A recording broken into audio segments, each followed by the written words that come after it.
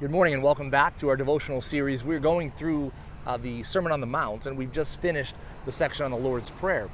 Now, Jesus brings us to a section on fasting. Now, fasting may be something that, uh, depending on your uh, tradition, that you've heard a lot about, or most likely, probably very little about. Uh, I think most times in the evangelical world, at least, this isn't a topic that uh, gets brought up or preached on or uh, perhaps practiced much. Although I'm sure we've heard of it and maybe even done it, I, I wouldn't say it gets emphasized. But let's look at what Jesus has to say here about it because I think it is an important topic. Jesus mentions it on the Sermon on the Mount, so uh, we need to take take it to heart of why he would mention this. So he says this When you fast, do not look somber as the hypocrites do, for they disfigure their faces to show others they are fasting.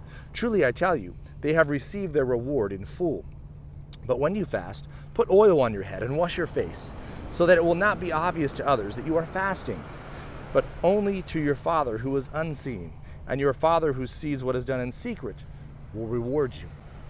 So Jesus' uh, point here, uh, first and foremost, um, is that when we fast, we don't do it for self glorification. We actually do it for self renunciation, right? We're doing it to die to ourselves rather than build ourselves up and to be seen and have people praise us because we're so uh, holy or uh, such, such a spiritual person, right? That's not the reason we're doing it. We're doing it to draw closer to God, to say no to our fleshly desires. So I want to quote Dietrich Bonhoeffer now in The Cost of Discipleship, which we've been quoting throughout this series. He says this on fasting Jesus takes it for granted that his disciples will observe the pious custom of fasting. Strict exercise of self control is an essential feature of the Christian's life. Such customs have only one purpose to make the disciples more ready and cheerful to accomplish those things which God would have done. Fasting helps to dis- discipline the self indulgent and slothful will, which is so reluctant to serve the Lord and it helps to humiliate and chasten the flesh. By practicing abstemiousness, which is kind of like uh, abstaining from food and drink and self indulgence, we show the world how different the Christian life is from its own.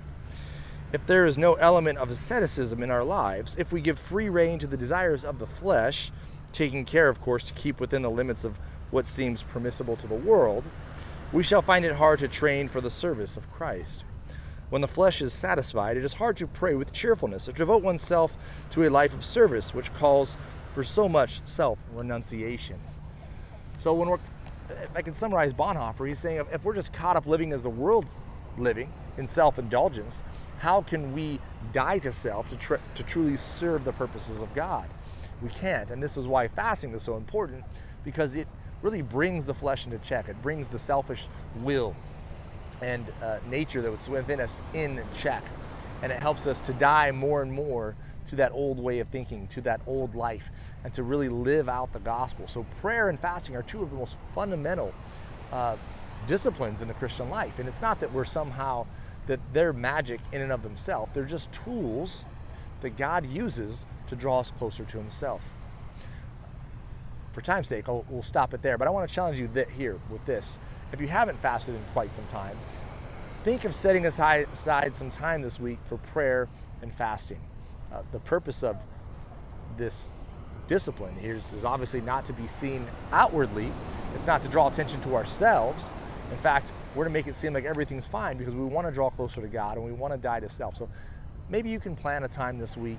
Maybe instead of cooking dinner or uh, taking that time at lunch to go buy food, maybe set that half hour aside for a time of prayer and fasting. And, and then maybe start to make that a habit in your life. See if we cannot uh, use that as a way to focus our minds more to the Lord and draw closer to Him. Have a blessed day. We'll see you guys soon.